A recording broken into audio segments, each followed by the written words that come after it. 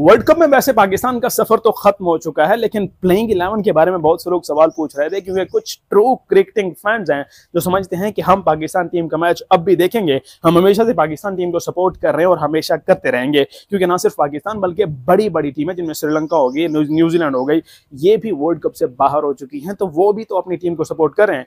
Kane Williamson इतने सालों से न्यूजीलैंड के कप्तान है, लेकिन आज तक वो भी अपनी टीम को कोई टाइटल नहीं जितवा सके। तो क्या उनके बारे में भी उनकी वहाँ ऐसे ही बातें करती होगी जिन जो हम बातें बाबर आज़म के खिलाफ करते हैं। तो इसलिए जो पाकिस्तान की टीम में बातें हो रही हैं, लोग कहते हैं कि इनको पसे पर्दा डालकर हमें अपनी टीम को सपोर्ट करना चाहिए, क्योंकि अगर हम ये वाला मैच भी हार गए तो भाई साहब हमें 2026 वर्ल्ड कप का क्वालिफाइंग राउंड खेलना पड़ सकता है। जी बिल्कुल टॉप ट्वेल्व जो टीम होंगी, वो शायद टॉप टेन क्वालिफाई कर जाएँगी और एक दो और टीमें क्वालिफाई जो है वो कर सकती हैं, क्योंकि आप, आपको मैं सिनेरियो बता दूँगा आने वाली वीडियोस में कि पाकिस्तान टीम का क्या सिनेरियो होने वाला है। लेकिन अगर हम खुदा नखास्त ये मैच भी हार गए तो फिर तो कन्फर्म है कि हम 2026 के वर्ल्ड कप का क्वालिफाइंग राउंड खेलेंगे। इसलिए ये मैच हमारा फ्यूचर के लिए बहुत ज़्यादा ज़रूरी है। बात कर ली जाए पाकिस्तान टीम की प्लेइंग इलेवन की तो मैं समझता हूँ कि आप पाकिस्तान की टीम को सभी के सभी जो भी लड़के आपके ड्रेसिंग रूम में बैठे हैं, उनको प्रॉपर चांस देना चाहिए।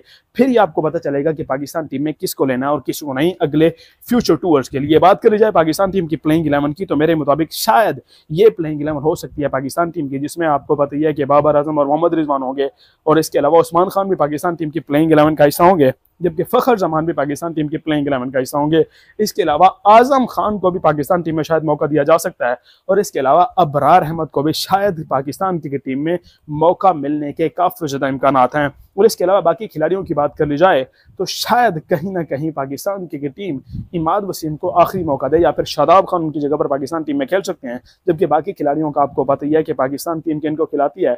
आपको पता ही है कि शाहिन शाह अफरीदी तो होंगे, मोहम्मद आमिर भी होंगे और इसके अलावा नसीम शाह भी होंगे, लेकिन अब्बास अफरीदी शायद पाकिस्तान की टीम की अब प्लेइंग इलेवन का हिस्सा बन जाए हारिस रऊफ की जगह पर। तो ये पाकिस्तान टीम की प्लेइंग इलेवन होने वाली है आयरलैंड के खिलाफ आखिरी मैच के लिए, जो कि ऐसे ही बस हम खेल रहे हैं, ऐसे तो खैर नहीं खेल रहे है। फ्यूचर के लिए हमारा ये मोस्ट इंपोर्टेंट मैच होने वाला है। बाकी आपको क्या लगता है, पाकिस्तान टीम से किस किस खिलाड़ी को हमेशा के लिए रिमूव कर देना चाहिए? अपनी राय आप कमेंट में ज़रूर दीजिएगा और खेलों से जुड़ी तमाम खबरें सबसे पहले देखने के लिए वीडियो को लाइक और चैनल को सब्सक्राइब लाजमी तौर पर कर दीजिएगा।